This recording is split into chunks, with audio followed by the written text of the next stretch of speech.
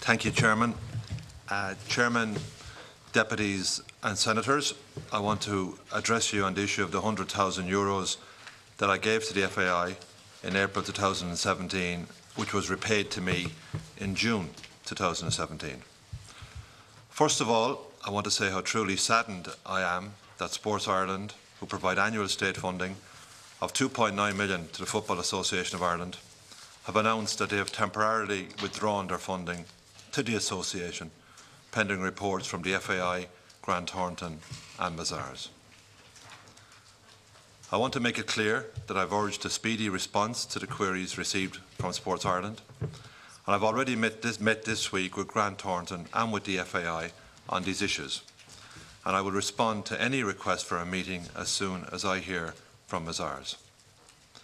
To continue, on Tuesday the 25th of April 2017, we had an internal finance meeting at the FAI.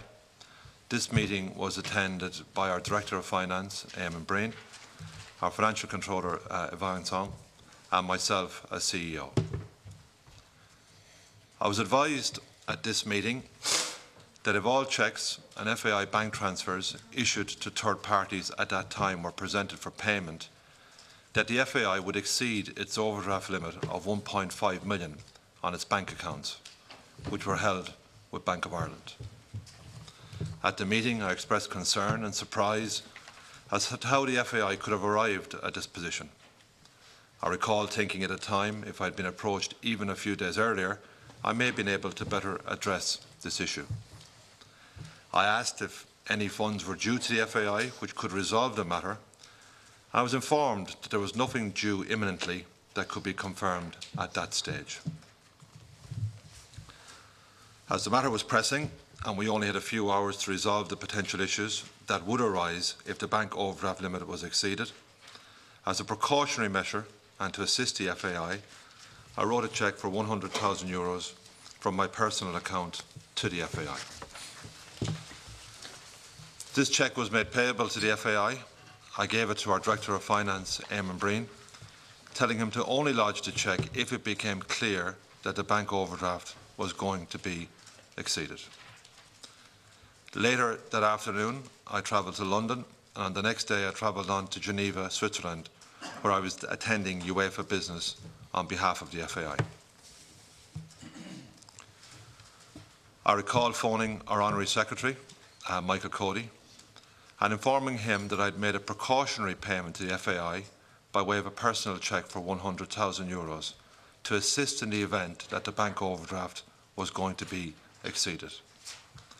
I informed him that I was very concerned and I had to act quickly to assist the Football Association of Ireland.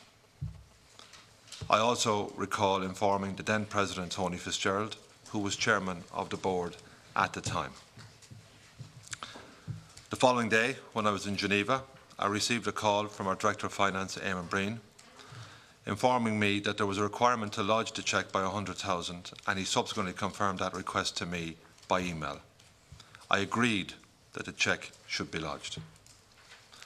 I asked our Director of Finance when I would be paid back and he said as soon as the funds came in. I subsequently received a cheque for 100,000 euros on the 16th of June 2017 from the Football Association of Ireland, repaying the amount in full which I lodged to my personal account on the 23rd of June 2017.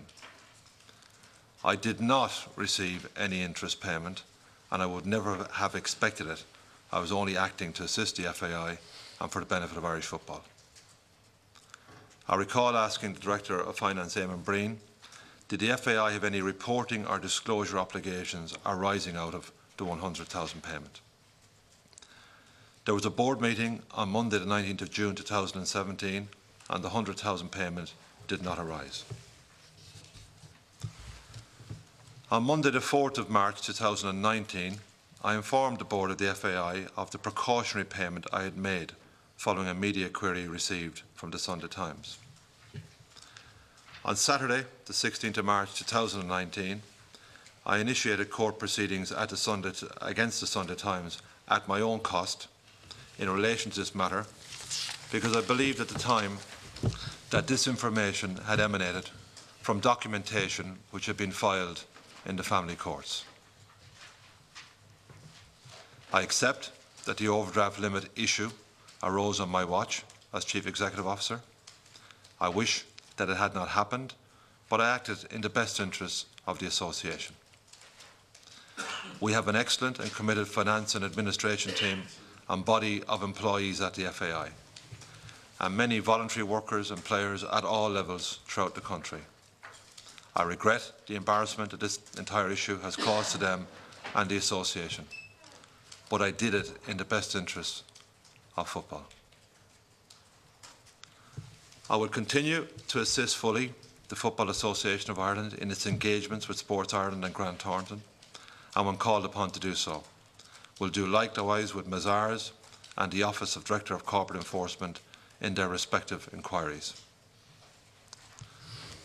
On legal advice, I'm precluded from making any further comments at this hearing in relation to the finances of the Association or my former role as CEO or the 100,000 payment either directly or indirectly.